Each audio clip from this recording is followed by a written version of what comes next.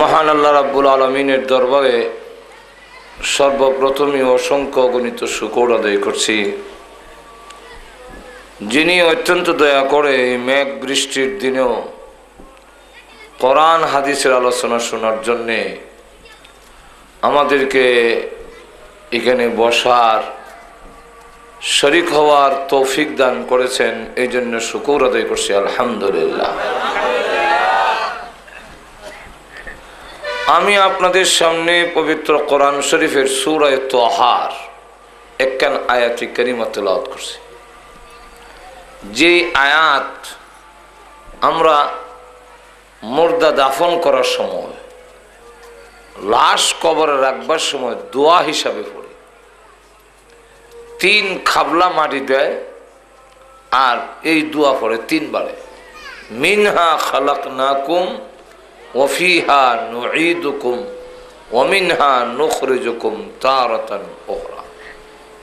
কিন্তু কেন হরি? এটা কিন্তু বুঝা হরি না। বুঝলে অবশ্যই আমাদের পরিবর্তন হইত। এই আয়াতের মধ্যে বুঝাইয়া দিয়েছেন যে আমরা কোথার থেকে এসেছি এবং কোথায় যাব, আসি কই? কোনো মানুষ যদি কোথার থেকে আইছে আর কোথায় যাবে, কোথায় আছে, এই কথা বলতে না পারে, তাহলে আমাদের সমাজের লোকেরা তারে পাগল কর এই বেটা কই থেকে আইস কই জানি না। আসত কই? কো জানি না। কই যাইবা? কই জানি না। তাহলে আমাদের সমাজের লোকেরা যে তারা পাগল বলবে কোনো সন্দেহ নাই। আমরাও যে এই পৃথিবীতে আছি, আইলাম কোথেকে আসি কই এবং যাব কোথায়? আমাদের এখানে তাকার জায়গা না। বাংলা কবি বলেন, আমার আগে এই বাড়িতে বাস করেছে অনেকজন। আমার আগে এই বাড়িতে বাস করেছে অনেকজন। তারাও গেছে, আমিও যাব, থাকব না কেউ বেশিক্ষণ। এই পৃথিবীতে আপনি আমার আগে অনেক মানুষ ছিলেন, তারা আজকে নাই। আবার এমন একদিন আসবে, আমরাও এই পৃথিবীতে থাকব না। কে বলেন, ঠিক খেনে কিন্তু আসার সিস্টেমটা হইল পৃথিবীতে যতটা মানুষ আসে, কানতে কানতে আসে। যেরকম ঠিক না? আসার পরে যদি তার কর্ম ভালো হয়, যাওয়াটা হয়তো আশা আনন্দের মাধ্যমে হবে, আর না হয় দুঃখের মাধ্যমে হবে। এটাও বাংলা কবি বলেন, যেদিন তুমি এসেছিলে ভবে কেঁদেছিলে একে, তুমি হেসেছিল শোভে। যেদিন আপনি, আমি পৃথিবীতে আসছিলাম, শুধু আমি একা কাচ্ছি সব হাসছে। যেরকম ঠিক না? এমন জীবন কর হে গঠন, মরণে হাসিবে তুমি, কাঁদিবে ভুবন এমন জীবন তুমি গঠন করো, যেই জীবনের কারণে পৃথিবীর থেকে বিদায় হওয়ার সময় তুমি হাসবে তাম পৃথিবী তোমার জন্য কাঁদবে। এমন জীবন করিও না গঠন, মরণে কাঁদিবে তুমি, হাসিবে ভুবন। আর যদি তোমার চলাফিরা ওঠা, ভালো না হয়, তোমার আচরণে সমাজের লোকেরা যদি অসন্তুষ্ট হয়। মাখলুক যদি কষ্ট পায়, তাহলে তোমার বিদায়ের কারণে পৃথিবীর মানুষরা আনন্দ করবে আর তুমি তোমার অপকর্মের বোঝা নিয়ে যাওয়ার সময় কানতে কানতে বিদায় হবে। কি বলেন, ঠিক না? তো আমরা পৃথিবীতে আসছি সকলেই কানতে কানতে। যদি জীবন সুন্দর করে গঠন করতে পারি, কোরআন, হাদিস অনুযায়ী তাহলে দেখা যাবে আমি পৃথিবীর থেকে বিদায় হলে তাম পৃথিবী কাঁদবে, আসমান, জমিন পর্যন্ত ওই মানুষটার জন্য কান্দে আল্লাহ রসুল বলেন, বাকাত বাকাতিসামাওয়াল আর আসমান আর জমিন কান্দে তার জন্যে। কেন কান্দে হ্যাঁ প্রভু, প্রতিদিন যখন আমার জমিনের উপরে সে সাজদা দিত, নামাজ পড়তো হে আল্লাহ, আমার জমিনের এই পিঠের উপরে বসে, সে তসবি পড়েছে, দুরুদ পড়েছে নে কামল করেছে, তার বোঝা বহন করতে আমার ভালো লেগেছে। আজকে পৃথিবীর থেকে বিদায় হয়ে গেল। এই লোকটা তো জিন্দিগিতে কোনোদিন আমার পিঠের উপরে আর সাজদা দিবে না। এই জন্যে জমিন তার জন্যে কানতে দেখে। আসমান কানলে কেন কানলে হে প্রভু?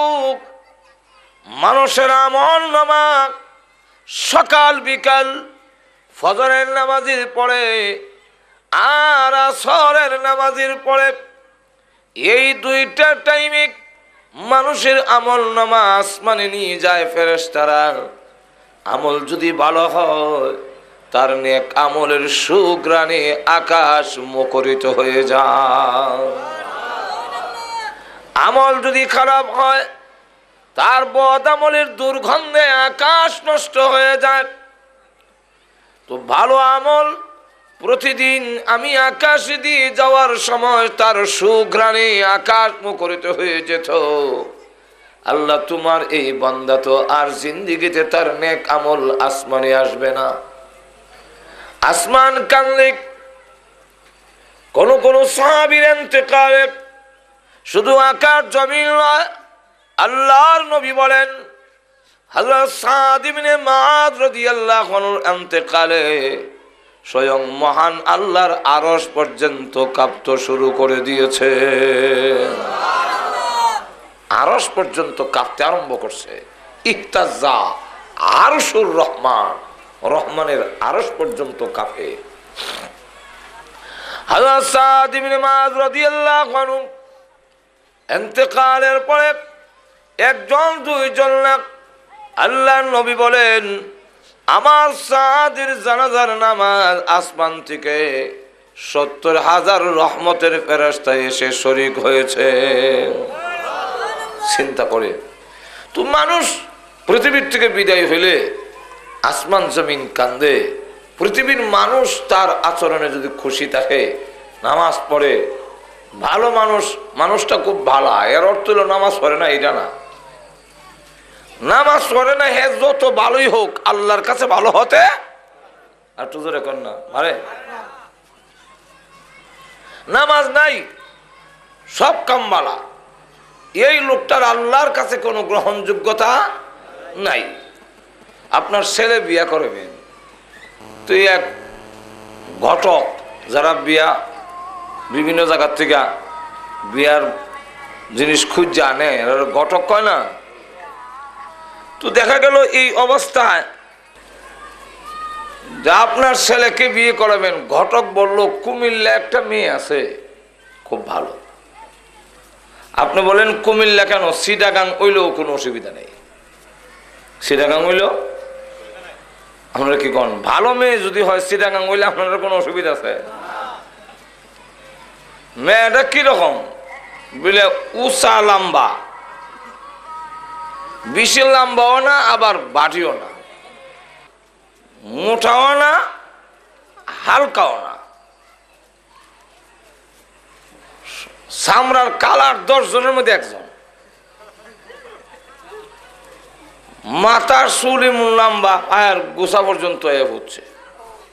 চোখ দুইটা বড় বড়, গুল গালছে আড়া মানে গুণের অভাব নাই। হাতের কাম, ফাঁকা বাইন সারি বাইন যা আছে সব পারে, ফাফড়া, সাফড়া নোটস ফাঁক করতে পারে।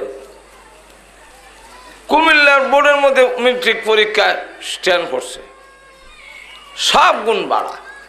তবে একটা গুণ তার খারাপ। তো ছেলের বাপ কইলো, এই গুণটা কেটে বলে, এটা আর শুনে লাভ নাই। এতগুলো বালা গুণের মধ্যে একটা তো খারাপ থাকব। আরে খারাপটা কি এটা কও না? কয়টাও না লাভ নাই। একশোর মধ্যে কি একশোই আপনি ভালো হবেন একটা তো থাকবেই। ক- কি অসুবিধাটা কি এটা কো না শুনি। শেষ পর্যন্ত কয়, মেয়েটার চরিত্র বাড়া না রাজ্যে কই তাকে এদের খুঁজে পাওয়া যায়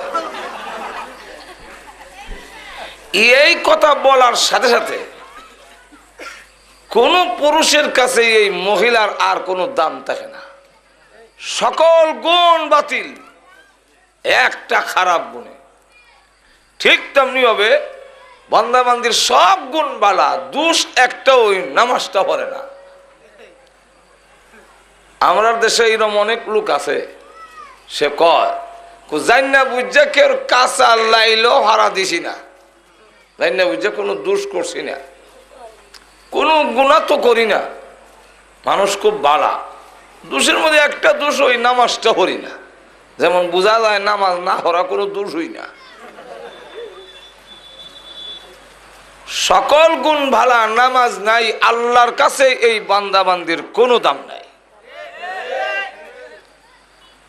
তো প্রথম নম্বর হলো, লোকটা ভালো ছিল, এই ভালোর সংজ্ঞা হলো, প্রথম নম্বর হলো সে নামাজি ছিল।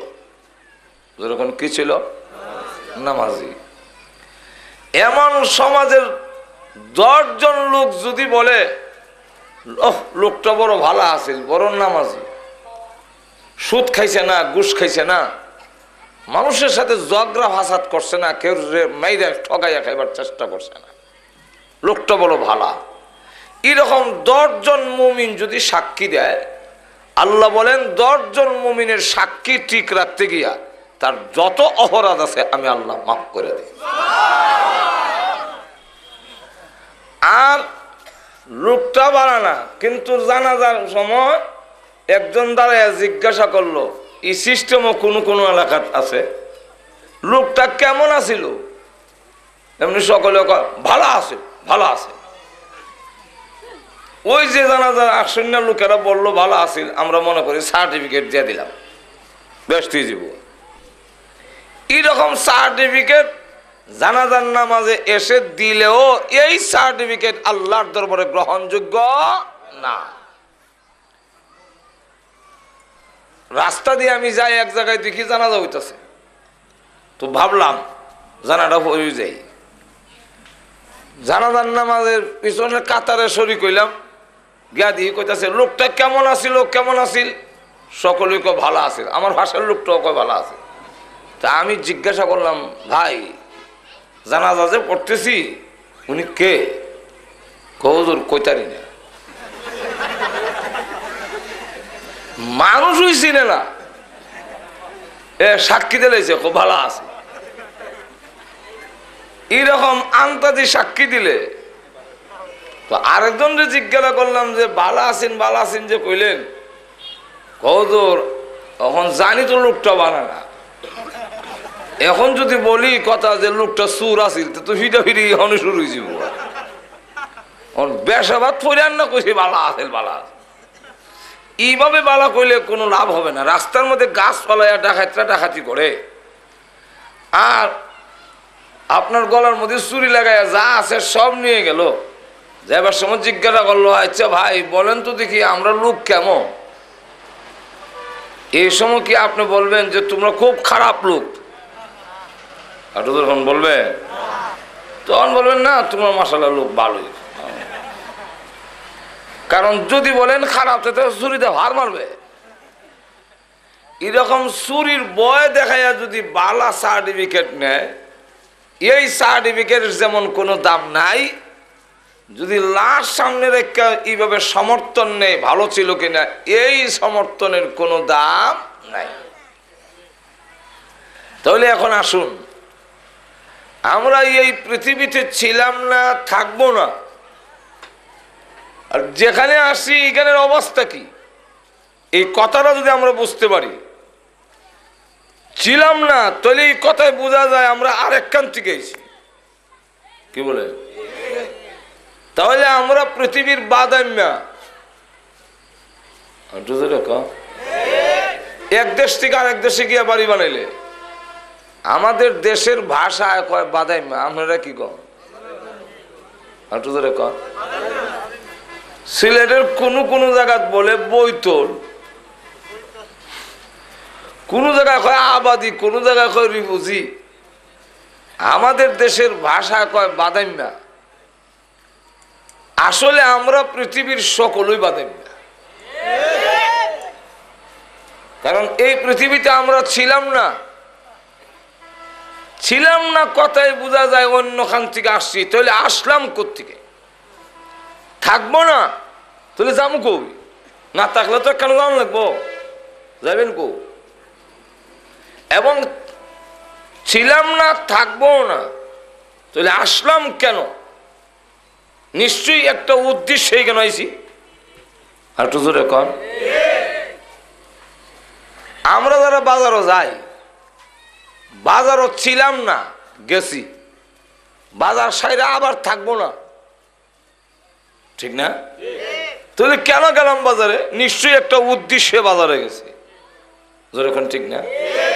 ঠিক তেমনি ভাবে এই পৃথিবীতে ছিলাম না, অন্য কান থেকে এসেছি, আবার থাকব না, তখন যাব কোথায়? এই কথা যদি ঠিক না করতে পারি, তাহলে এই ভবের জিন্দিগিতে আমাদের জীবন শেষ হয়ে যাবে।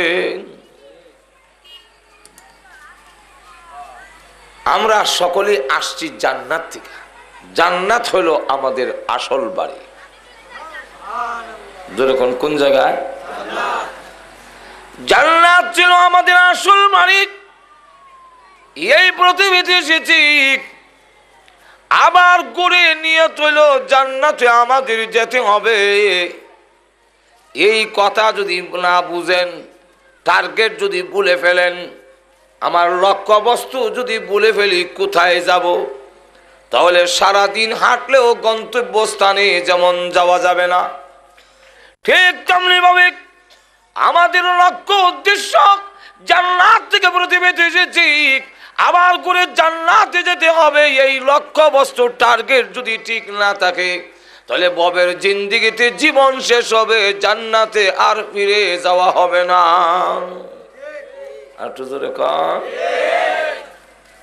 আপনার লক্ষ্য বস্তু থাকতে হবে, যেই জান্নাত থেকে আইছি গুইরে আবার এই জান্নাতও যাইতাম। জোরে ঠিক নেই? এখন যদি জান্নাতে যাওয়ার নিয়ত ঠিক থাকে, এত যেই পথে চললে জান্নাতে যাওয়া যায়, এই হতে যাইবেন। নাকি? আমার কথা বুঝেননি আপনারা, আল্লাহ তুই কিছু হা না তো কইবে? যাবেন কই? আমার নন্দনপুর বাজারও দোকান আছে, দোকানও যাই। যাবেন কো খ্যাত যাম। নিয়ত যদি ঠিক থাকে, যে আমি ব্রাহ্মণ বেড়ে যেতাম এটা ঠিক করণ লাগে ঘর থেকে বের হওয়ার আগে। আল্লাহ রাব্বুল আলামিন জান্নাতে যে আমাদের ঠিকানা, এটা আল্লাহ আদমকে এবং হাওয়াকে জান্নাতের ভিতরে রাখা টার্গেট ঠিক করে দুনিয়াতে পাঠাইছে। তোমরা এখান থেকে যাইতেছ, নিয়ত কিন্তু থাকতে হবে গুইরে আবার জান্নাত আসা। যেরকম ঠিক নেই? এই হিসাবে যদি নিয়তটা ঠিক করে আগুয়ায় ব্রাহ্মণ বেড়ে যামু। নিয়ত ঠিক করে যদি আটা শুরু করে জোর দূর আগাইব ব্রাহ্মণগড়ের দিকে আগাইব নন্দন হন বাজারে যামু। যত কদম দিব, নন্দন হল বাজারের দিকে আগাইব যেরকম ঠিক না? খেতে যামু। যত কদম আগাইব তার ক্ষেতের দিকে আগাইব ঠিক তেমনি হবে আমাদেরও যদি টার্গেট ঠিক থাকে, জান্নাতে যাব তাহলে আমার জীবনের যত কদম অগ্রসর হব, আমার জীবনের যত সময় যাবে, তত আমি জান্নাতের দিকে আগ্রহ আর যদি টার্গেট ঠিক না থাকে, উল্টা পথে আটে জান্নাতে না গিয়া জাহান নামের পথে পরিচালিত হবে এই জন্য আসুন প্রথমে আমরা জেনে নিই কোথা থেকে এসেছি, আমরা সকলেই জান্নাতে ছিলাম, আদম এবং হাওয়া আমাদের দুজনে, আমাদের সকলের আব্বা আম্মা গোটা মানব জাতির মা বাবা হলেন। আদম এবং হাওয়া, তারা দুজন জান্নাতের ভিতরে ছিলেন। শয়তানের দুকায় শেষ পর্যন্ত জান্নাত থেকে তারা বের হয়ে গেলেন। আর এই দুইজন পৃথিবীতে আসার কারণে তাদের মাধ্যমে আমরাও এই দুনিয়াতে এসে পৌঁছে গেছি। যেরকম ঠিক নেই? কীভাবে জান্নাতের ভিতরে আল্লাহ আপনি আমার সকলের রো তৈরি করে রেখে দিয়েছেন। সেখান থেকে মা বাবার মাধ্যমে মার পেটের ভিতরে যখন যায়, যেই জিনিস দিয়া মানুষ তৈরি করা হয়, ওই নাপাক জিনিসটা যখন মার পেটের ভিতরে যায়, সেখানে আল্লাহ রাব্বুল আলমিন ফেরেস্তা তৈরি করে রেখেছেন। তারা হাতের তালুতে নিয়ে জিজ্ঞাসা করে, প্রভু গো এরা কি কাজে লাগাবো না নষ্ট করে দিব? আল্লাহ রাব্বুল আলামিন বলেন, কাজে লাগাইবা না নষ্ট করে দিবা। এখন আমার বলার কোনো প্রয়োজন নাই। আল্লাহ, এটা কি আমি, আমরা যে বানাইতাম চোখ কি জাগাত সমান সমান বসাইতাম না একটু সেন্টার লড়াই দিব অনেকের দেখবেন চোখের সেন্টারটা লড়াইল, এই কারণে হ্যাঁ কোন দিকে চায়, এটা বোঝা যায় না। আপনার দিকে চাইছে না আমার দিকে চাইছে কইতারি না আসে না এরকম লোক? আল্লাহ আঙ্গুল কি বিশটা দিব না পাঁচটা দিব? আল্লাহ আঙ্গুল কি চব্বিশটা হবে না বিশটা হবে? অনেক মানুষের দেখবেন বাইশ আঙ্গুল ইদিক দিয়ে আরও দুই আঙ্গুল আছে। আসেনি সে ক আঙ্গুল হইল? এখন তো বিশ আছে এদিক দিয়ে আরও দুইটা হইলে বাইশ। আবার অনেক চব্বিশ আঙ্গুলও দেখছি। ফায়ার আঙ্গুলের কাল্লা আঙ্গুলের দুই সাইডে আরও দুই আঙ্গুল। তো করা হয়েছে হ্যাঁ প্রভু, কে দিব বলেন? আল্লাহ রব্বুল আলমিন তখন ডাক দিয়ে বলেন, নতুন করে আমার বলার প্রয়োজন নাই। আমার একটা বৌড় আছে, যার নাম লৌহে মাহফুজ ওই বৌডের দিকে তাকায় দেখো, সে মার রেহেমের ভিতরে, ফ্যাক্টরির ভিতরে যাওয়ার পঞ্চাশ হাজার বছর আগে আমি আল্লাহ তার সুরত আইকা বৌডের মধ্যে লটকায় রেখে দিয়েছি। খালি দেখকে বানাই দাও। যত মানুষ দুনিয়াতে আইসে আর যত মানুষ দুনিয়াতে আছে এবং আইব সকলের ছবি সহ লোহে মাহফুজ নামক বোর্ডের মধ্যে লটকাই আরো আসতে কোন সুবান আল্লাহ বলছে وكل شيء أحصيناه في إمام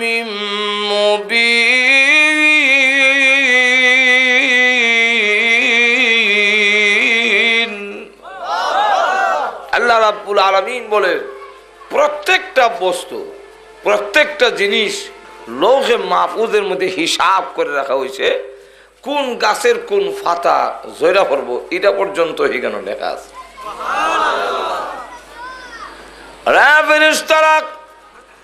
আমার বলার প্রয়োজন নাই। ওই লৌহে মাহফুজে যে আকৃতি দেওয়া আছে, এই আকৃতি অনুযায়ী বানায় নাও। সবগুলো ওইখানেই দেওয়া আছে। দেখা দেখা বানায় নাও। তবে ওই জায়গা থেকে এক চিমটি মাটি আনো। যেই জায়গাতে তার কবর হবে দাপন হবে।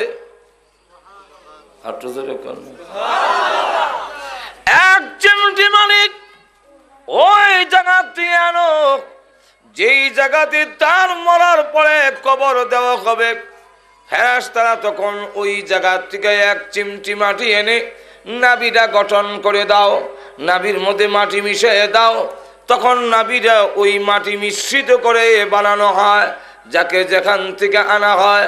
আপনাদের প্রশ্ন হইতে পারে, হিন্দুদেরকে তো আগুন দিয়ে জ্বালায় দেওয়া হয়, এরা তো আর কবরই দেয় না।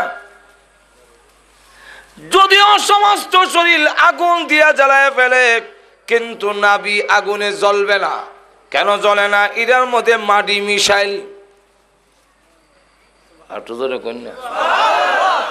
সুতরাং সালি আর নাবি সহ যেই মাটিতে রাখা হয়, বুঝতে হবে এর দেহ বানানোর সময় ওই জায়গার থেকে মাটি এনেছে। কোন মানুষকে যদি পানিতে বাসায় দেওয়া হয় আর লাশ পচে গলে শেষ হয়ে যায় পানিতে এবারে তো খবর দিল না। সমস্ত শরীর পচলেও নাবি পচে না। নাবির মধ্যে মাটি মিশানো। তাই পচে গলে যেই সাগরের আর নদীর পানির যেই জায়গার সাথে মাটির সাথে নিচে গিয়ে মিশ্রিত হয়, এই জায়গার থেকেই তার মাটি আনা হয়েছিল। কোন মানুষকে যদি ভাগে কে ফেলে আস্থা সাবে গিলে ফেলে তাকে? সমস্ত শরীর হজম হইলেও নাবি হজম হয় না। নাবি পায়খানার সাথে বের হয়। তাই সকলকে আল্লাহ রাব্বুল আলমিন জানাইয়া দিয়েছেন, এক চিমটি মাটি এনে তার নাবিটা গঠন করো। এই জন্যে আমার তালাওয়াতকৃত আয়াতের ব্যাখ্যায়, তফসিরে মাজহারিতে আল্লামা সানাউল্লাহ পানিপতি রহমাতুল্লাহ আলাই আনছেন আল্লাহ নবীর হাদিস এনেছেন। নবীজি বলেন, আমি আবু বকর আর উমর তিনজন এক জায়গা থেকে সৃষ্টি। এই জন্যই তিনজন এক জায়গায় সাহিত অথচ গড়টা হলো মায়াসার গড়টা কার? মায়াসার কিন্তু যার গড় তিনি শুইতে পারলেন হাজরত আবু বকর সিদ্দিক রাদিয়াল্লাহু এতেকালের আগে লোকেরা জিজ্ঞাসা করে, আবু বকর, কোথায় আপনাকে দাফন করব? উনি বলেন, কোথায় দাফন করবে? আমি বলার প্রয়োজন নাই। আমি পৃথিবীর থেকে বিদায় হওয়ার পরে আমার এতেকালের পরে গোসল দিয়া, কাপড় পরাইয়া, জানাজার নামাজ পড়ে লাশটা নিয়ে নবীজির রৌজার পাশে রেখে দিবা। সালাম দিবা। নবী যদি জবাব দেয়, নবীর পাশে আমাকে শোয়া দিবে। নবীজি যদি জবাব না দেয়, বুঝবে আমার দুই বৎসরের শাসনে আল্লাহর নবী নারাজ হয়ে গেছেন। নবী যদি কোনো জবাব না দেন তাহলে আমাকে দূরে নিয়ে শোয়া দিবে। দূরে কোথাও নিয়ে শোয়া দিবা। হজরত আবু বকর সিদ্দিক রাদিয়াল্লাহু এতেকালের পরে সাহাবীরা গোসল দিয়া কাপড় পরাইয়া জানাজার নামাজ পড়ে। লাশ নিয়া আল্লাহ নবীর রওজার পাশে রাখলেন।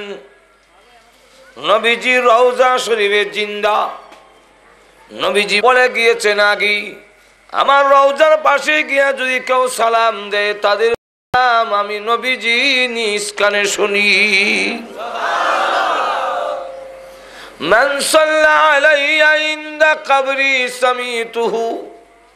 আমার কবরের পাশে যে দূরত পড়বে, সালাম দিবে, আমি নিজেই শুনব।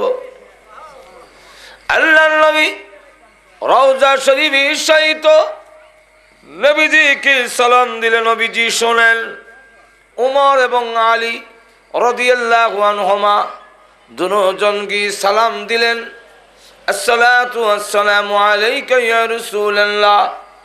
আপনার হিজরতের সাথী, আপনার পৃথিবীর সবচেয়ে বড় সাথী আবু বকর সিদ্দিক রাদিয়াল্লাহু আনহুকে নিয়ে এসেছি। যদি অনুমতি দেন আপনার পাশে শোয়াবো। অনুমতি যদি না দেন, তাহলে দূরে কোথাও নিয়ে শোয়া দিব। এমনি শুনে রওজা শরীফ থেকে আওয়াজ আসতেছে, আদখিলুল হাবিবা ইলাল হাবিব। এ উমর আর আলী, আমার আবু বক্করকে আমার পাশে শোয়া দাও। এতদিন পর্যন্ত আবু বক্কর ছিল দুনিয়ার সাথী। এখন থেকে হয়ে যাবে আমার রওজা শরীফের সাথী। আবু বক্কর সিদ্দিক রদি আল্লাহ তো শুয়ে পড়লেন। উমর রদিয়াল্লাহানু নামাজ পড়াইতেছিলেন, ইমামতির স্থানে গিয়েছেন। লাইনে দাঁড়ায় আছেন উমর রদিয়াল্লাহানুর ঘাতক। সেও মুসলিম কাবের অগ্নি অগ্নিহুজারি মারার জন্য নামাজে গিয়া দাঁড়াইছে। নামাজও দাঁড়াইছে হ্যাঁ কিন্তু দাঁড়াইছে, মারবার লেগে, নামাজ বর্ষা কাপড়ের লুকাই ভাই, আমার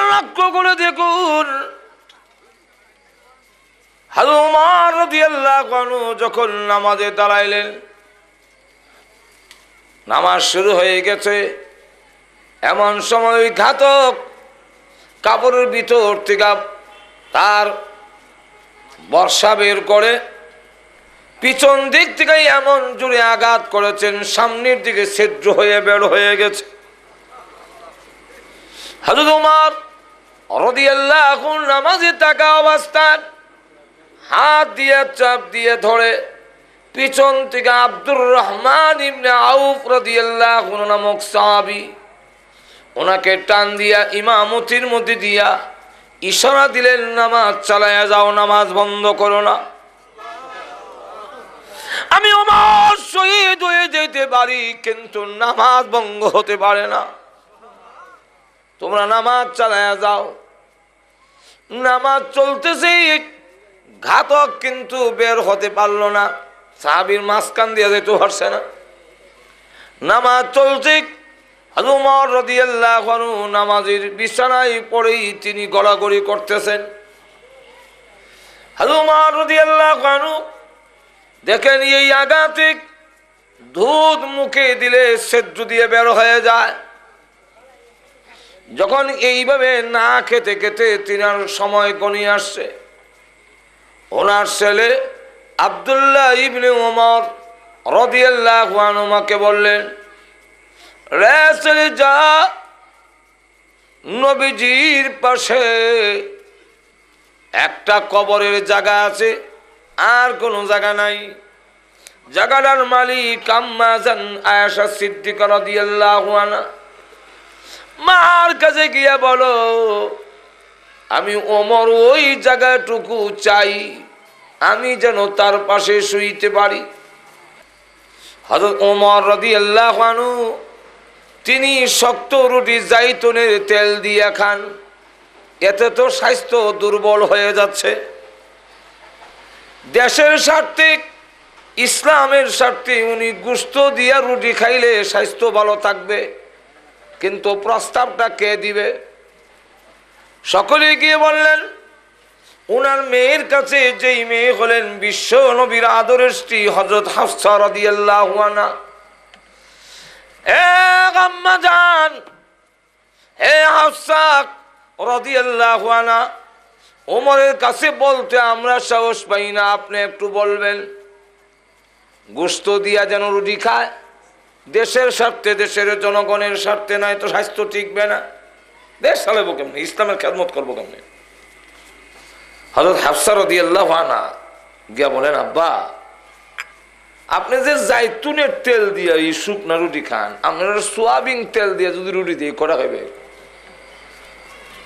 তাও রুটি শুকনা, নরম না, শক্ত। তা আপনি গুস্ত দিয়ে খাইলে তো খাইতে পারেন। আব্বার কাছে যখন মেয়ে এই প্রস্তাবটা দিল হজরত উমর কান্দা শুরু করছে। মা, জীবনে কোনদিন কল্পনা করি নাই গো। তোর কাছ থেকে এই প্রস্তাব আমি শুনব। মা, তুমি না নবীর আদরের স্ত্রী। তুমি এই প্রস্তাব আমাকে কেমনে দিলে যে আমি গুস্ত দিয়া রুটি খেতে আমি তোমার কাছে জানতে চাই, আমার নবী কি খাইতেন?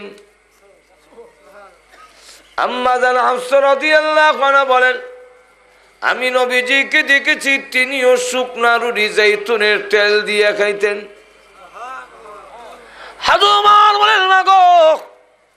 শুধু শরীর কঙ্কাল কেন?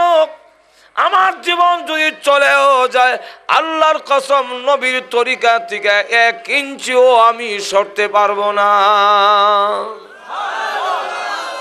আমার নবী শুকনার রুটি জৈতুনের তেল দিয়ে খাইছেন। আর আমি গোস্ত দিয়ে খাব। হয় না, আমি খাব না। এত যদি মরে থাকে, মরে যাব যেই লোক নবীর সুন্নতের এইভাবে অনুসারী, সেই লোকটার জীবনে চাইল না কোনো আরামাইশ রাষ্ট্রপ্রধান হইয়া তার গায়ের মধ্যে যেই জামাটা এটার মধ্যে আঠারোটা তালি দেওয়া। তাও জামা একটা। আর আমরা দেশে মন্ত্রী মিনিস্টার হইলে তিনশো ষাটটা, তিনশো ষাট জোড়া খাব যেরকম ঠিক আর আমিরুল মমিনিন হজরত উমর, উনার মাত্র একটা জামা, তাও এটার মধ্যে আঠারোটা তালি দেওয়া। সাতটায় একদিন দইয়া দেয়। আর যেদিন পাঞ্জাবিটা দৈত দেয়, এদিন খালি গায়ে বইতে হাইটা শুকাইলে গাও দিত। তুই একদিন নিয়ম অনুযায়ী শুক্রবারে তৈরি ধয় এদিন আকাশ মেঘাচ্ছন্ন, রোদ নাই। যাব বিজা জুম্মার আগে শুকাইছে না। আর এই তালির মধ্যে কিছু কিছু তালি হইল কাপড়ের চামড়ার তালি। এই চামড়ার মধ্যে পানি লাগলে না শুকাইলে একটা গন্ধ হয়। তাই বিজা পাঞ্জাবি গাও দিয়া যে নামাজ সরাইব হনির তো সম্ভব হইতেছে তাই তিনি একটা চাদর নিচে ভিন্দা আর উপরের জায়গাটা খালি। জুম্মার নামাজ পড়াবেন এবং জাতির উদ্দেশ্যে জুম্মার নামাজে ভাষণ দিবেন। গায়ে কোনো কাপড় নাই। যার আঙ্গুলের ইশারায় অর্ধেক পৃথিবী পরিচালিত হয়। যার আঙ্গুলের ইশারায় দুনিয়ার আলু বাতাস পরিচালিত হয়। তুফান আইতেছে, তুফান টর্নুরু দৌড় দিয়ে বেরিয়েছে। এই টর্নুরু থাম। যেমনি কইছে, থাম, জাগাত এখন উমর সামনের দিকে আগায় হাত দিয়ে ইশারা দিয়ে টর্নুরু ভিজে দাও। টর্নুরু ভিজায় আর উনি আগায় ফিসে নিতে নিতে গিয়া উনি আঙ্গুল দেয় ইশারাতে বললেন, ওই পাহাড়ের ভিতর দিয়ে চলে যাও, কোনো বস্তিতে তুমি টর্নডো হামলা করবে না। উনি যেই দিকে আঙ্গুল দেয় ইশারা দিলেন, সেই দিকে চলে গেল, একটা বস্তিতেও টর্নডো ঝড় তুফান হামলা করল না। তো যার আঙ্গুলের ইশারায় টর্নডো পরিচালিত হয়, নামাজ পড়তেছিলেন, জমিনের মধ্যে ভূমিকম্প আরম্ভ হয়েছে উনি নামাজের সালাম ফিরে লাড়ি দিয়ে আঘাত করে তোর তো সাহস কম না। তোর পেটের ভিতরে বিশ্ব নবী ঘুমাই দিছেন। তোর পেটের ভিতরে আবু বক্কর সিদ্দিক সাহিত আর আমি আমার নামাজ পড়তেছিলাম লারামাস। আমার যে নামাজের ধ্যান নষ্ট হয়ে গেল। এই যে বন্ধ হোক হয়েছে আজ পর্যন্ত মদিনার ভূমিকম্প বন্ধ। নীল নদী যান, বিশ্বাস না করলে আপনারা পরীক্ষা করে দেখেন। নীল নদীর মধ্যে এক ইঞ্চি পানি আষাঢ় মাসে বাড়ে না।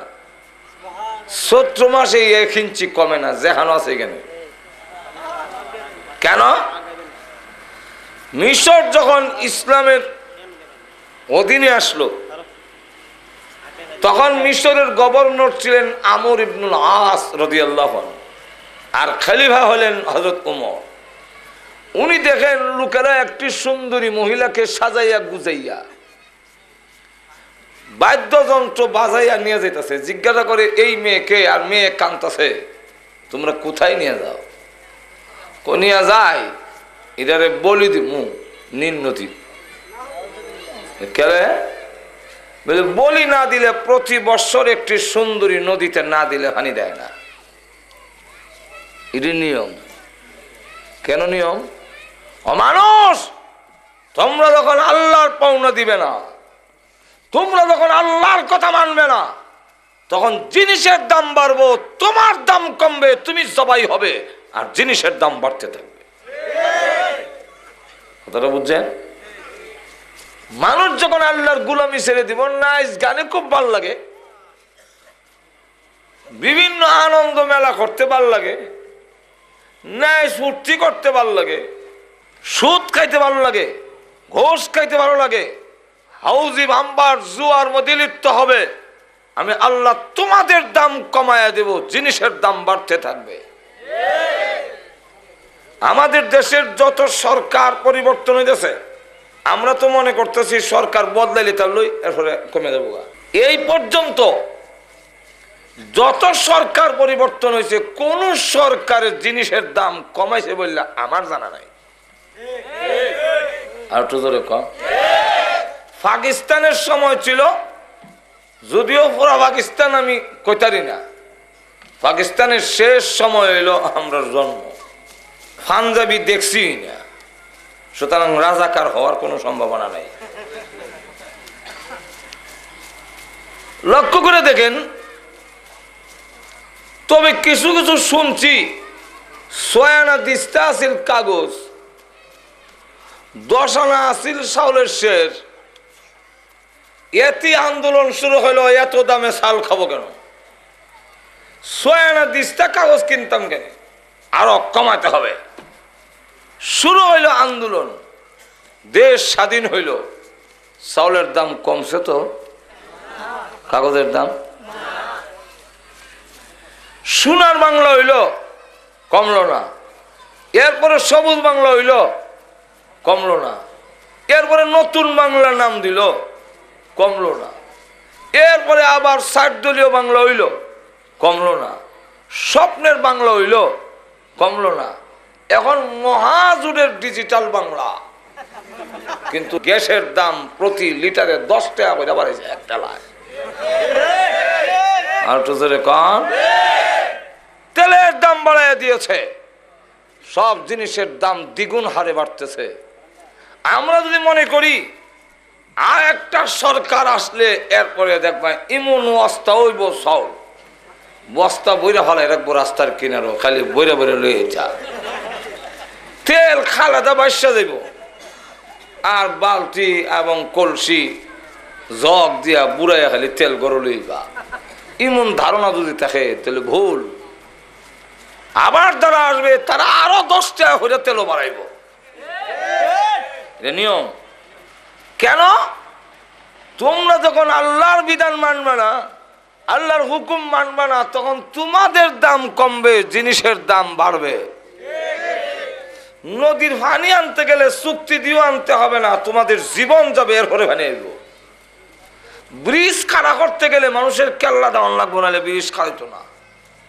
তোমার জীবন দাও, তোমার যখন দাম কমাইলিছ তুমি দাও। তখন ওই মহিলাকে প্রতি বছর একটা সুন্দরী মহিলা জবাই করতে হয়। তো দেখা গেল, আমর ইবনুল আস রদিয়াল্লাহ বলেন, না, তা তো হতে পারে না। আচ্ছা নদী কি, নদীর লেগে আমরা বানাইছে না? আমরার লেগে নদী বানাইছে আল্লাহ?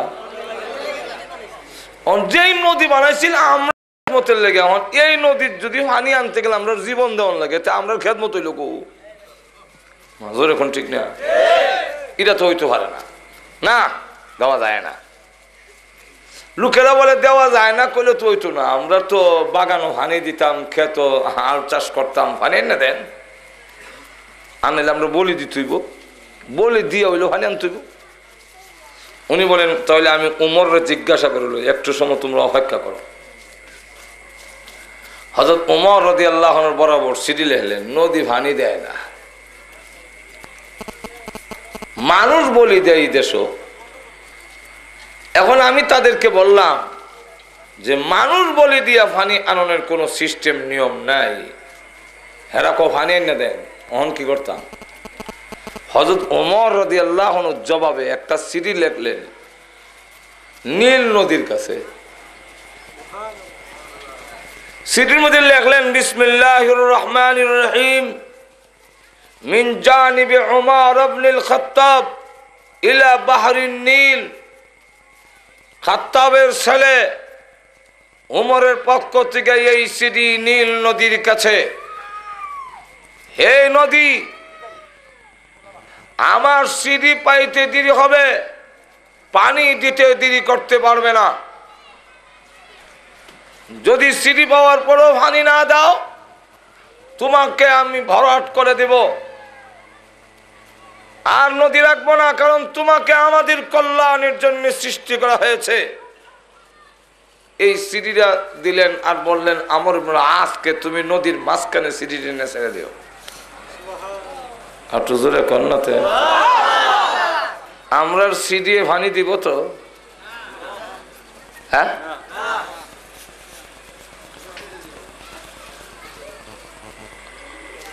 কাবেররা শূন্য কয়? উমর বেইজ্জত হওয়ানের টাইম গনে এসে। মানুষজনের লাঠি সুটি দেখাইলে বয়ে অনেকটা মেনে নেয়। নদী কি তার কথা এইভাবে ডরে মানবো? মুসলমানরা কয় হ্যাঁ পানি দিতে বাধ্য। পানি দিবে? কেন? যেহেতু অমর আল্লাহর কথা মানে নদী তার কথা মানতে বাধ্য। ঠিক নেই? তবে কীভাবে দেয়, এটা দেখুন দরকার। যেরকম ঠিক না? এটা দেখুন দরকার। আমর ইবনুল আস রাদিয়াল্লাহু আনহু যখন এই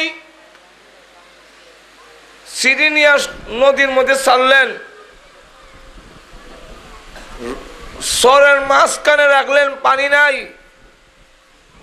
কিন্তু রাখতে দেরি আর রাখার সাথে সাথে আমর ইবনুল আস শুকনার দিকে দৌড়ায়, পানিও ওনার পিছনে পিছনে দৌড়ানি শুরু হয়েছে। এই যে সমুদ্র বলল, নদী বলল, আজও বলল, কাজও বলল, আর কমে না। বাড়েও না, কমেও না। সেই আমার রদিয়াল্লাহ কোনো পৃথিবী থেকে বিদায় হয়ে যাবে। আম্মাজান আয়েশা সিদ্দিক রদিয়াল্লাহ আনার কাছে এই সংবাদ পৌঁছেছেন। জীবনে যে আরাম করল না, ভালো কাপড় পরিধান করল না, যার জামার মধ্যে আঠারোটা তালিক, দাঁড়াইলেন জুম্মার উদ্দেশ্যে, লোকজনের উদ্দেশ্যে ভাষণ দেবে। ওটা তখন বললেন, ইয়া আইয়ুহান্নাস ইসমাউ ওয়া আতিউ। হে লোক সকল, আমার কথা মনোযোগ দিয়া শোনো। এক যুবক দাঁড়িয়ে বলে আমার আপনার কথা শুনব তো দূরের কথা। আমার প্রশ্নের জবাব যদি না পাই, এই তরবারি এখন শেষ ফয়সালা হবে। আমি আপনার কাছে জানতে চাই, ইয়ামন থেকে যে রিলিফের চাদর আইছে, আমরা একটা করে চাদর পাইলাম। আপনার গায়ে দুইটা চাদর, একটা নিজে পরিধান করে রেখেছেন আর একটা গা দিয়ে রেখেছেন। আপনি দুইটা পাইলেন কেমনে? আমরা একটা পাইলে তো আপনিও রিলিফের চাদর, একটা বন্ডক খাওয়ার কথা। জনগণও রিলিফ খাওয়েন না, আর প্রেসিডেন্ট যে, উনিও রিলিফ খাওয়ার উপযুক্ত। সুহান বলবেন না। তো রিলিফের চাদর একটা আপনি পাবেন একটা, আমি পাব আমরা হম আপনাদের দুইটা, তাহলে বোঝা গেল একটা পাইছেন বন্ডকে আর একটা নিছেন রাষ্ট্রীয় ক্ষমতার বলে। হে আমার রাষ্ট্রীয় ক্ষমতার অপব্যবহার। নবীর এই সাহাবিরা জিন্দা থাকতে বরদাস্ত করবে না। এবার বলুন আপনার গায়ে যে চাদরটা এটা জোর করে আপনি দখল করেছেন। এর জবাব না পাইলে আপনার কথা মানব দূরের কথা, এই তরবারি চূড়ান্ত ভাই চালা হবে। এমন কোন কথা আমরা সরকারের বিরুদ্ধে কইলে, কোরআনের বিরুদ্ধে নীতিমালা তৈরি করছে ইটা কইল কইবো না।" আমরা আলিমুলামা বলতেছে যে এটা কোরআন সুন্নার সাথে সাংঘর্ষিক। হ্যাঁ রাখো না, সংঘর্ষ না। অথচ আমাদের দেশের মন্ত্রী, এমপিরা যারা আছে, কোরআন, হাদিস সম্পর্কে তাদের কতটুকু জ্ঞান আছে? এক মন্ত্রী ঈদের নামাজ হয়ে গেছে, পাঁচ মিনিট আগে। আটটায় নামাজ, পাঁচ মিনিট আগে গিয়ে বলে আপনার নামাজ তো আটটায় হ্যাঁ তার পাঁচ মিনিট বাকি আছে। মুয়াজ্জিন কই? আদান দিল না যে? ঘুমাই গেছেন নাকি আপনি? ঈদের নামাজ আজান আছে তো।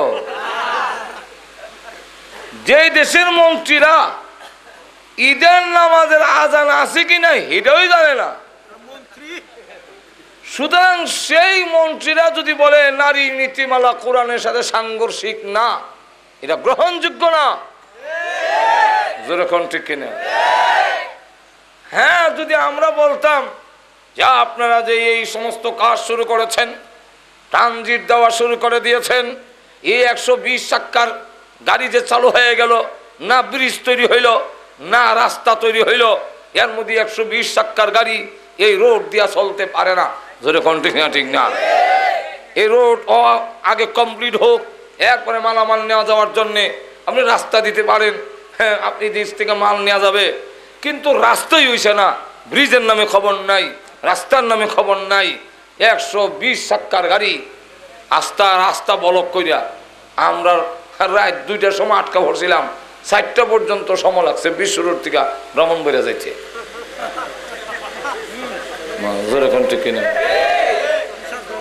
হ্যাঁ। এখন এত বড় গাড়ি যে চালাইয়া দিলেন, হিরত তো কইলাম না। আমরা বলতেছি কোরআন হাদিসের কথা, জোরে কোন ঠিক কিনা? আমরা বিশ্বাস করি আওয়ামী লীগ মুসলমান, জোরে কোন ঠিক কিনা?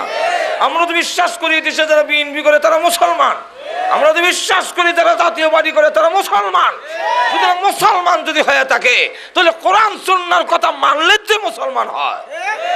তো আলিম উলামা বলে কোরআনের সাথে সাংঘর্ষিক, এরা হয় সংঘর্ষ না কেমন গাউরামি চিন্তা করে। তখন বললাম যে, ঠিক আছে, আমাদের সাথে আলিম উলামার সাথে একবার বসেন, বসে দেখে নিয়ে এটা সমাধান করেন। কোনটা কোরআন, সুন্নার সাথে সাংঘর্ষিক, এটা আপনারা একটা মীমাংসা করেন। কিন্তু এটা শুনতে রাজি? পারলে আমি মোল্লার আরও সাইজ করে নেব। যেরকম ঠিক না? এখন দেখা যায়, দাঁড়াইয়া গেলেন। উমরের সামনে যে যুবক দাঁড়াইছে আমরা দেশের কোন রাষ্ট্রপ্রধান, প্রধানমন্ত্রীর সামনে এইভাবে দাঁড়াইয়া প্রতিবাদ করলে এই মোল্লার কবর যাওয়ান ছাড়া কোনো গতি নেই। ঠিক কিন্তু উমর হাসি দিয়া বললেন, ভাই, তোমার প্রশ্ন কি বলো? প্রশ্ন হইল সাদ্দুর দুইটা হইলেন কেমনে? এর জবাব আমি না দিয়া, আমার ছেলে আবদুল্লাহ ইবনে উমর। আমার ছেলে দিব আবদুল্লাহ আবদুল্লাহ উমর রাদিয়াল্লাহু আনহু মিম্বরের পাশে দাঁড়াইয়া তিনি জবাব দেওয়ার আগে কান্দা শুরু করছেন। যে অর্ধেক পৃথিবী যারা আঙ্গুলের ইশারায় পরিচালিত হয়, উনি খালি গায়ে আজকের জুম্মার নামাজ পড়াবেন। তা তো হয় না। তাই আমি যে একটা রিলিভের সাদর বন্ড হয়েছিলাম এটা আমার আব্বারে দিলাইছি। সুতরাং গায়েরটা হইল আমার হিন্দনেরটা আমার আব্বা। তাহলে এবার বলেন, জুলুম করছে কিনা? তখন সকলে হ্যাঁ তাহলে ঠিক আছে তাইলে ঠিক আছে। এবার উমার বলেন, শুধু আপনার কথা মানবো তাই না? আপনি যদি অর্ডার দেন, আপনার আঙ্গুলের ইশারায় আমরা পানিতে চাপায় পড়ব, আগুনে চাপায় পড়তেও কোনো দ্বিধা আপত্তি আমাদের নাই। বুঝছেন? তাহলে এখন লক্ষ্য করে দেখেন, সেই অমর রাজি আল্লাহ জীবনের বুক বিলাস কিছুই করলেন না জীবনের শেষ আকাঙ্ক্ষা হলো নবীজির পাশে ঘুমানি? আব্দুল্লাহ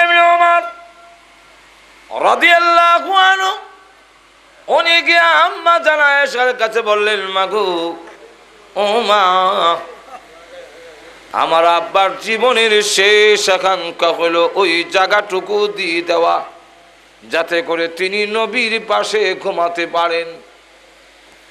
আম্মা জানা এসে সিদ্দিক বলেন, রে আব্দুল্লাহ ওমর তাম পৃথিবী দিতে পারি কিন্তু জেনে রাখ, ওই জায়গাটা দিতে পারি না।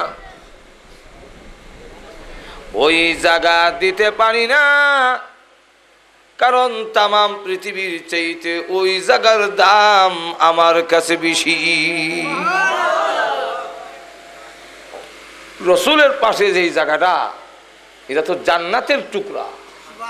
সেরকম ঠিক কে- টুকরা? আর তোদের এখন কে টুকরা? জান্নাতের টুকরা। আব্দুল্লাহ শোনো। আব্দুল্লাহ ইবনে ওমর, শুনে নাও। তামাম পৃথিবী দিলেও ওই জায়গা আমি দিতে পারি না রে বাবা, আমি দিব না। আমি আয়াসার জীবনের আকাঙ্ক্ষা ওই জায়গায় আমি সইব। বিদায় করে দিলেন আবদুল্লাহ ইবনে ওমর, চোখের পানি ছেড়ে দিয়া ব্যর্থ হইয়া রওনা দিলেন। আছে তোমার রদিয়াল্লাহু আনহু তিনি ডাক দেয়া বলেন, আমি ভুল করেছি। আমি অন্যায় করেছি।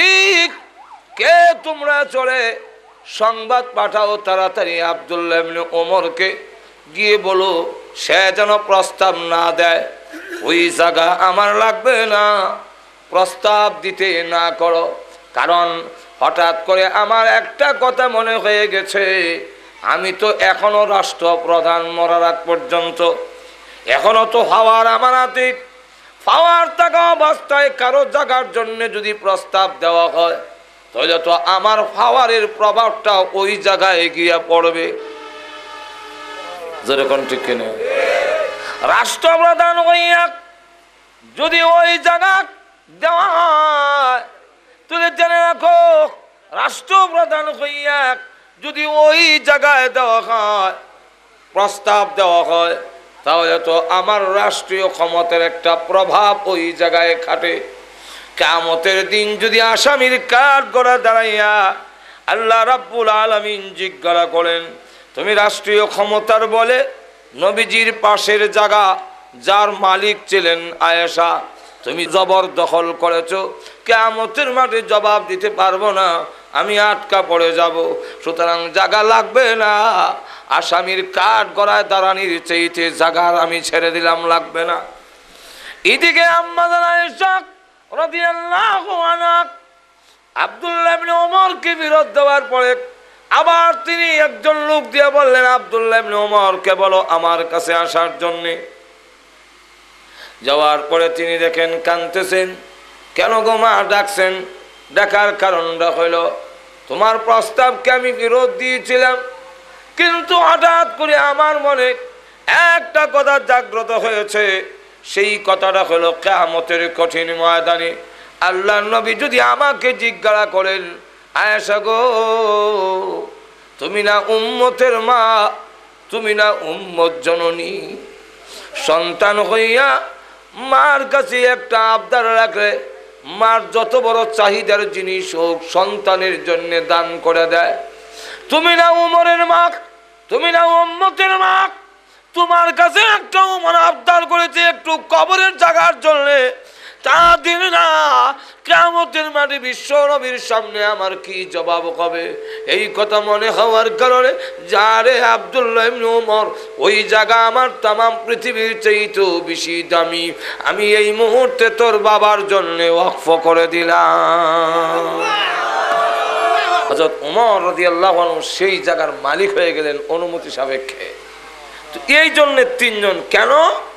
যেহেতু আসলে রসুলও বলে গেছেন যে আমার আমরা তিনজন এক জায়গার থেকে সৃষ্টি আমি আবু বকর ওমর আর হাদিসের মধ্যে আসছে যাকে যেখান থেকে যেই মাটির থেকে সৃষ্টি করা হয়েছে সেই জায়গা তার কবর হবে। সেই হাদিস অনুযায়ী তিনজনের কবর তো একখানেই হওয়ার লাগে। জোরে ঠিক না ঠিক না। ভাইরা আমি বলতেছিলাম আলোচনা অনেক লম্বা। ওই লম্বা আলোচনা করার মতো সময় নাই। লক্ষ্য করে দেখুন আল্লাহ রাব্বুল আলামিন যে বলছেন, মার পেটের ভিতরে তার নাবিটা গঠন করো, ওই জায়গা থেকে এক চিমটি মাটি এনে বানাও, যেই জায়গাতে তাকে দাফন করা হবে, এই কবরের মাটি এক জায়গায় আনো। ওই জায়গার মাটির এক নাবি গঠন করে গোটা দেহ আল্লাহ রাব্বুল আলামিন সৃষ্টি করে। মার গর্ব হইয়া এই দুনিয়ার জগতে আমাদের আগমন হইল। এই দুনিয়াতে আগমন হওয়ার পরে আল্লাহ রাব্বুল আলামিন জানাইয়া দিয়েছেন, এই পৃথিবী বেশি দিনের নয়, তুমি কিন্তু বলে যাও না। এই জন্যে এক কানে আজান আর এক কানে একামত দেওয়ার সিস্টেম। সন্তান ছেলে হোক আর মেয়ে হোক, এক কানে আজান আর এক কানে একামত দিতে হয়। কেন আজান একামত? এই হাদিসের ব্যাখ্যা তকরির বুখারির মধ্যে এক কানে আজান জানাজার নামাজে আজান নাই, একামত নাই। দুনিয়াতে আসার পরে আজান, একামত দেওয়া হয়েছে। এখন থেকে তুমি রেডি থাকো, কোন সময় তোমার জানাজার নামাজ হবে? আজান, একামত হয়ে গেলে ক করে নিয়ত বান্ধে ইমাম সাহেব? আছে? আর টাইম নাই। সাথে সাথে আল্লাহ আকবার। ওই মুয়াজ্জিনের লা ইলাহা ইল্লাল্লাহ, ইমাম সাহেবের আল্লাহু আকবার। মাঝখানে যে ফাঁক, এই ফাঁকটা হলো তোমার দুনিয়ার জীবন। এই ফাঁকটা হলো তোমার জীবন, ইহকালের স্টপিস এখন এই কারণেই জানাজার নামাজে আজান নাই, একামত নাই। কেউ যদি কয়, এটা যদি জানাজার নামাজ, হয়, তা আজান নাই করে? বলে আজান তো হয়ে গেছে। একটু জোরে কর না। আজান হয়ে গেছে। আর এমন ভাবে জানাই দিলেন যে, প্রস্তুত থাকো, পরে তৈরি হবে, এই কথা বললে হবে না। তো প্রস্তুত থাকো। বলে, আমি পরে রেডি হম। ই কথা বললে হবে না। রেডি জন্মের ভোর থেকে রেডি থাকো রেডি নাইলে দুকা খাইবা দুকা খাইবা। আর একটু জোরে কর না। কারণ কোন সময় মরবে? কোনো গ্যারান্টি একটু জোরে এখন গ্যারান্টি নাই। কোনো নিশ্চয়তা নাই। এই মাহফিলে বসা অবস্থায় মৃত্যু হতে পারে। ওয়াজ করতে করতে মরণ হতে পারে। ঘুমাইবেন আর উঠবেন না? দুইটা ঘটনা তো করে আমার সামনে। আমার সাথে খুব ধাক্কা লাগে। এর মধ্যে একটা হইল শেখ দিগলবাগি রহমতুল্লাহ আমি আর হুজুর এক মাহফিলে ওয়াজ করলাম। হুজুর গেলেন বাড়িতে, আমি আমার মামার বাড়ি। আমি তো ঘুম থেকে উঠলাম, কিন্তু আমাকে ডাক্কা উঠেছে ওই এলান শুনিয়া যে শেখ দিগলবাগ রহমতুল্লাহ আলাই নাই। আমাকে যখন এই কথা বলা হইল, আমি তখন বিশ্বাস করিনি ঘুম থেকে ডাক্কা তো আর কি কর? কোন মাইক দিয়ে আলান হইতেছে। মাইক দিয়ে আলান হচ্ছে একসাথে ওয়াজ করে এলাম হুজুর বাড়ি দিয়ে ঘুমাইলেন। কে কর? বাজে কথা। না, তখন খবর লয়ে দেখি ঠিকই হুজুর আর নাই শেষ। ধরে কোন ঠিক কিনা? সবসময় আমার সাথে প্রায়ই থাকতেন হজরত মৌলানা জয়ন আবদিন সাপ অষ্টগ্রামের চাইতেন যেটা হ্যাঁ? চিনি না মনে আপনারা? এত দূরে কোন না, চিনতেন না? প্রায় আমার সাথে থাকতেন। কিন্তু উনি গেলেন, সিলেট গেছে আমিও লন্ডন গেছি লন্ডন যাওয়ার পরও টেলিফোনে আমার সাথে আলাপ হয়েছে। উনি জিনাই দহ হয়েছে আমরা সিল্লাতে এসে জিনাই দহ এর কদিন গেল না, ঘুমাইছে, এই যে ঘুমাইলেন আর উঠল না। যেরকম ঠিক তাহলে জীবন কতটুকু? এই জীবন ভাইয়া ফাইজলামি করো না।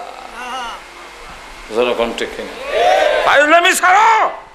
মৃত্যুর জন্য প্রস্তুত হও। যেরকম ঠিক না ওই মসজিদের পালকি যে তোমার ঘরে কখন আসবে, তার কোনো নিশ্চয়তা নাই। তোমার খবর নাই। এখন লক্ষ্য করে দেখেন যে এই অবস্থায় যে আমরা এই পৃথিবীতে আসলাম আসার অবস্থাটা কি? যে আমরা আসার সাথে সাথে একখানে আদান আর একখানে একামত দিয়া ইকাতে বলে দেওয়া হয়েছে যে তোমরা রেডি থাকো। আল্লাহর রসুল বলেন যে আমার গায়ে আজরাইল হাত দিতে গেলে পারমিশন লাগবে। কিন্তু এরপরও আমি রসুল বলি আসসালামু আলাইকুম রহমতুল্লাহ বলছি নামাজের সালাম ফিরাইলাম ফলে আবার আসসালামু আলাইকুম বলার জন্য মাথা ঘুরাইতে পারবো বলে আমি রসুল বিশ্বাস করি না এই হলো জীবন আল্লাহ বলেন এই জীবনে দুঃখাত পড়ো না যেরকম ঠিক وما الحياة الدنيا إلا متاع الغرور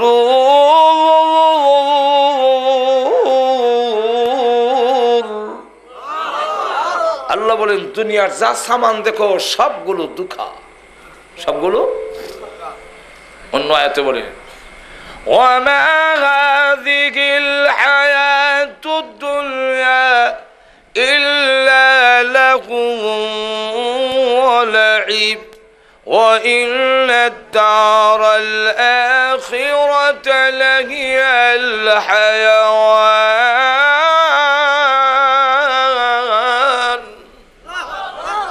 আল্লাহ রাব্বুল আলামিন বলে এই দুনিয়ার জীবনটা কিছুদিনের খেলাধুলা খেলাধুলা যৎকান করে অতকে আনন্দ এখন শেষ যেরকম ঠিক কিনা খেলাধুলার মজাটা যৎকান করে অতকান এরপরে শেষ ঠিক এই দুনিয়ার জীবন, কিছুদিনের খেলাধুলা, যেদিন তোমার টাইম শেষ হয়ে যাবে সব কিছু শেষ।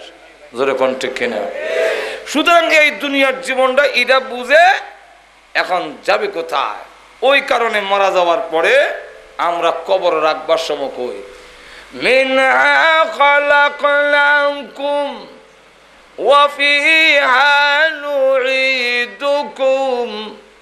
এই মাটির থেকেই তোমাকে বানানি হয়েছিল নাবি গঠন করা হয়েছিল মনে আছে না?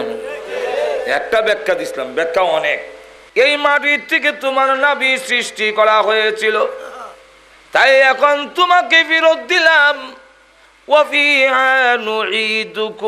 যেখান থেকে নেওয়া হয়েছিল এইখানে তোমাকে ফেরত দেওয়া হইল। ঠিক? কবরের জগতে যাবেন সেখানে যাওয়ার পর অবস্থা কি আল্লাহর রসুল বলেন ইয়াতি হিমালা কান ফাইজুলি সানি তখন আপনাকে দুইজন ফেরেস্তে এসে বসাবে আপনি জিন্দা হবেন আল্লাহ ثم يميتكم ثم يحييكم ثم إليه ترجعون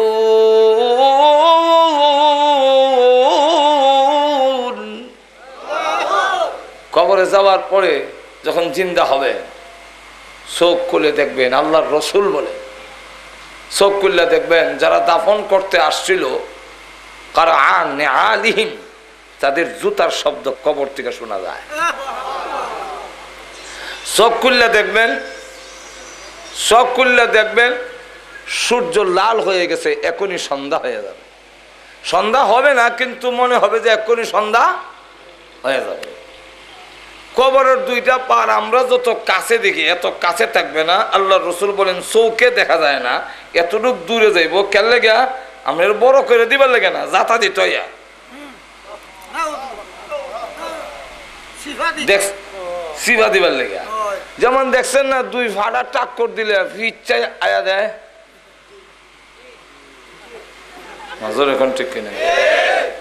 আমরা দেখছেন না ইরাটা দিতে গেলে ফিসে যায়। ঠিক আয়া দৌড় দেয়। বলের মধ্যে লাত্তি দিতে গেলে ফিসে যায়। জায়গার থেকে দেয় না, কেন লাগে? এটার হওয়ার কম। আর দূর থেকে উৎসাহটা দিলে খাবার বাড়াইব ওই সবাক চিৎকার দিয়া বলবেন, তোমরা গো? এত নিষ্ঠুর হয়ে গেলে, এই এখন আমার উপায় কি? উপায় কব আমার উপায় কি তোমরা আমাকে ছেড়ে চলে যাও? চিৎকার দিয়ে জোরে জোরে কেউ জবাব দেয় না। সন্তানেরা রে এত নিষ্ঠুর কেমনে হইলে? আমি ডাকি, আমার ডাকে কেন সারা দেশ না? এইভাবে যতই চিৎকার দিবে, কেউ আর জবাব দিবে না। আসবেও না, জবাবও দিবে না। ওই দিন যদি দুনিয়ার জীবনকে আমি কাজে লাগাইতে পারি। তখন দেখবেন আপনার আমল, আপনার কবরের ভিতরে গিয়ে দন নাই, সম্মত নাই গড় নাই, খেতা বালিশ নাই, কিছুই নাই।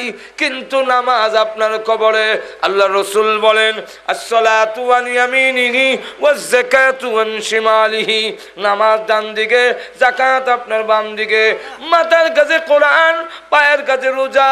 ডেকে বলে, ভয় করো না নাম কানাউ মাতিল আরুস নতুন জামার মতো ঘুমাও, আমরা পাহারাদার হয়ে থাকব। তোমার মর কেমতের আগ পর্যন্ত ঘুম ভাঙতে আমরা কখনো দিব না। ওই দিন তখন বুঝবেন দুনিয়ার জীবন অযথা। আমি কার পেছনে নষ্ট করলাম? সুদ কেন খাইলাম? সুদ খাইয়াও বললি মুডা হইছে। ফিডা একলা আমার খবরও এটা কোনো বুদ্ধিমানের কাজ হইতে পারে না। আরেকবার আর ক্ষেতের লাইল কেচ্ছা ক্ষেত বড় করলাম আমি, কিন্তু ফিডা খামো আমি জায়গা নিব অন্যরা। এটা কোনো বুদ্ধিমানের কাজ হইতে পারে না। আরেকবার আর জায়গা দখল করিয়া বাড়ি বড় হইয়া দিয়ে গেলাম আমি, বড় বুক করব অন্যরা। ফিডা খামো আমি একলা। এটা কোনো বুদ্ধিমানের কাজ হইতে পারে না। আরও জোরে ক কিন্তু শয়তান যে আমরা কান্দ সর হইছে আপনি বাড়ি বড় করছেন আপনার কি তুইল? জোর করিয়া আমাদের সমাজে কিছু লোক আছে, জোর দবস্ত আরও জনের জায়গা দখল করে লাই আমি কায় হাই দখল করে লাভটা কিতা বাড়ি বড় হইল, তো তোমার কি তুইল? তোমার কি তুইল? অন্যরা বন্ধ করে নেব ভিডিওটা তো তুমি লাগাইবা কিনা? কেউ নেবে না। এরপরে আল্লাহ রাব্বুল আলমিন বলেন আয়াতের মধ্যে আমার তেলাওয়াত কিন্তু আয়াতে ومنها نخرجكم تارة أخرى এখন যাবো কোথায় যাচ্ছি কোথায় গাড়ি চলছে চলছে রুহের জগৎ থেকে জান্নাত থেকে গাড়ি ছেড়ে দিয়েছে। মার পেট হইয়া, দুনিয়ার জগৎ হইয়া, কবরের জগৎ হইয়া, এখন যে বা হাসরের দিন। আল্লাহ বলেন, অমিনহা নুখরিজুকুম তারাতান উখরা। আবার তোমাকে কবর থেকে জিন্দা করে যেদিন উঠানো হবে, বেশি লাগবে না। আল্লাহ হচ্চা করলে শেষ হয়ে গেল গো। আল্লাহ তখন কবে উঠো! এমনি উঠবা। বলে হচ্চা গেলে গা ওদের কেমনে তুলবো? ওদের কেমনে? বলে, আলু কেমনে তুলো? লম্বা লাইন টান দেয়। এটা হইল আলুর কবর। মুর্দা বেশি দিকে কবর লম্বা আর কি। মুর্দা তো বেশি। এখন আলুর বীজ তো এতে যায় তে মারি দেয় দাফন করে। এক সপ্তাহ পরে দেখা যায় আলুর লত বেরিয়েছে। আর মূল আলুটা ফুটছে গা। যেরকম ঠিক না? দুই আড়াই মাস পরে লত ধরে টান দেয়। আটটা দশটা জুমটা বেঁধে উঠে। তোমরাও আলুর বিচিল লাগান, লাশ নিয়ে কবর তো এমারি এসে লত গেছে আল্লাহর কাছে। রোগ লত ধরে যেদিন টান দিব, নন্দনপুরের গুরুস্থান থেকে এক একটা কবর থেকে চল্লিশটা, পঞ্চাশটা উঠবো।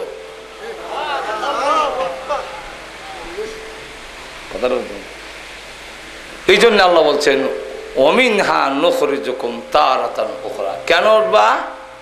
যে তুমি যে উদ্দেশ্যে তোমারে ফাটাইছিল সেই কাজ কতটুকু করলা আমার বিধান কতটুকু মানলা এর জবাব দাও। এই জন্য আল্লাহ রাব্বুল আলমিন এই কথাটা উপলব্ধি করে আমাদের সকলকে কেয়ামতের মাঠের প্রস্তুতি নিয়ে দাঁড়াইবার তৌফিক আল্লাহ আমাদের দান করুন। সকলে জোরে সরে বলেন আমিন। ওয়াখর দাওয়ানা আলহামদুলিল্লাহ রবিল আলমিন।